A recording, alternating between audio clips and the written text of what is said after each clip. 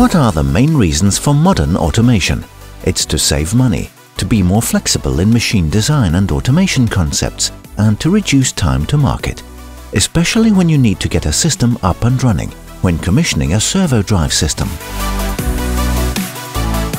Commissioning software for servo drives and motors plus controllers is standard in the market for all suppliers. But the commissioning of these products together with mechanics, remote I.O. and valve terminals in one and the same tool is outstanding.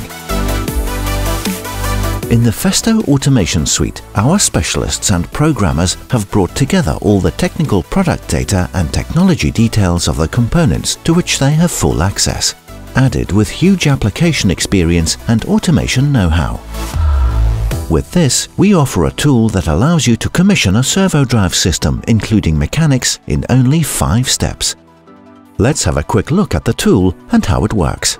After you download and start the tool, you can commission your solution in two ways. Number one, the easiest and fastest way using the project data from the engineering tool Electric Motion Sizing.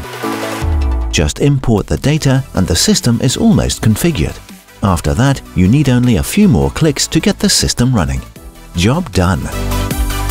Number 2. The classical way of configuration inside the software.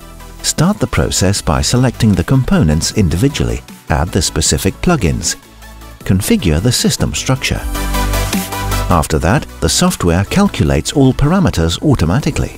Then, to get the system running, finish the commissioning with a couple more clicks. Again, job done. Whichever way you choose, our Festo Automation Suite is always intuitive and easy to use. By the way, do you know what one of the biggest benefits of the commissioning tool is?